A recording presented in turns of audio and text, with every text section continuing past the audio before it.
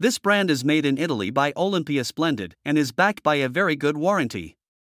The units are different in the fact that the air for the units is supplied from the outside with ducts, which makes for a much nicer look on the outside of the building. The units are Wi Fi enabled for control through their mobile app and they are very quiet while operating. The Maestro Pro 12 model has a state of the art inverter compressor but is only available in one size. The Maestro Smart 9 model features electrostatic and activated carbon air filters for cleaning the air, but they only have a 9000 BTU capacity. The units use R410A refrigerant, which is not as earth friendly as brands that use R32.